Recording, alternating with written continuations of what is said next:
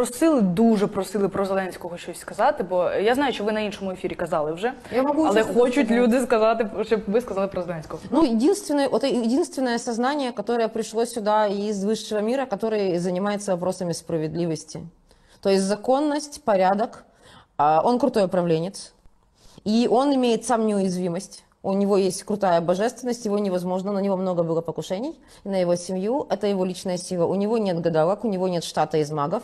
Он сам на своей энергии прет вперед, ну, как бы он очень устал. Вот что я сейчас могу по нему сказать.